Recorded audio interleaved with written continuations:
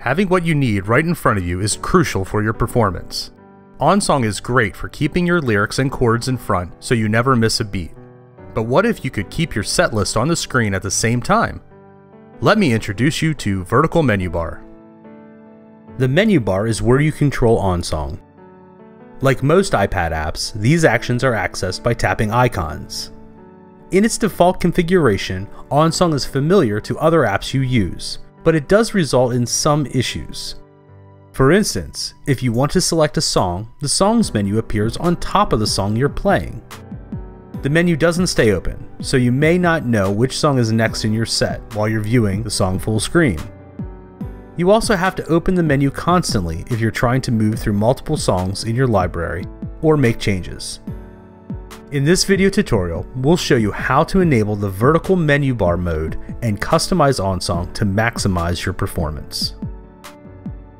We call this feature vertical menu bar because instead of placing the menu bar at the top of the screen, it places it on the side of the screen.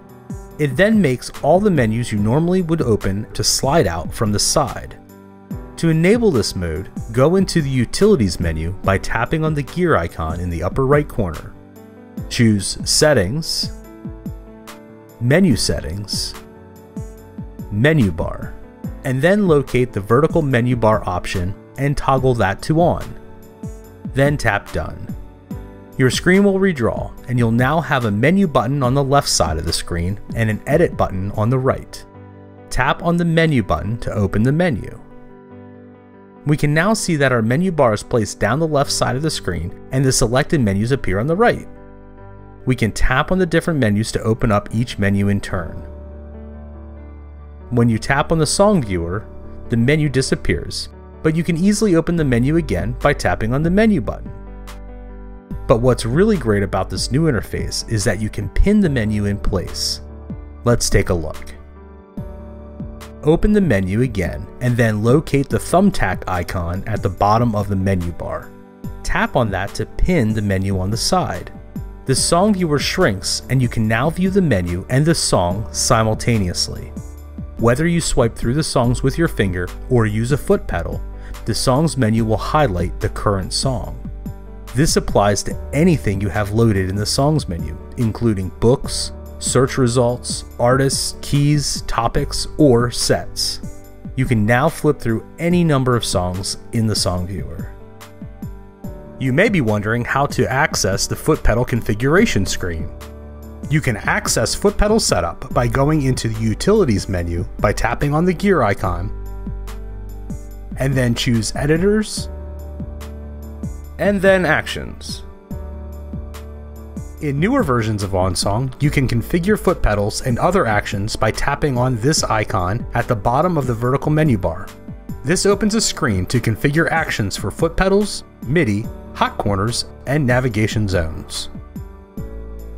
Having the menu on the left is great for keyboard players who need their right hand on the keyboard, but guitarists may want to keep their left hand firmly placed on the strings. We can flip the vertical menu bar to the right as well. To do this, tap on the gear icon and then choose Settings, Menu Settings, Menu Bar. Locate the reverse menu bar option. Normally this would reverse the order of the icons when the menu bar is placed at the top of the screen, so that the songs menu appears on the right.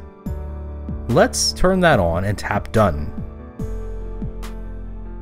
Now all of our menus appear on the right side of the screen. One of the coolest features of the vertical menu bar is these menus update as you move through the set. So let's tap on the Style Preferences menu down here with the sliders icon. Now when we swipe through the songs in our song viewer, the Style Preferences menu is automatically updated to reflect the attributes of each song and allow us to quickly change that on the fly. I hope you like this new way to interact with OnSong, but we'd still love to hear from you, so be sure to contact us at onsongapp.com/support.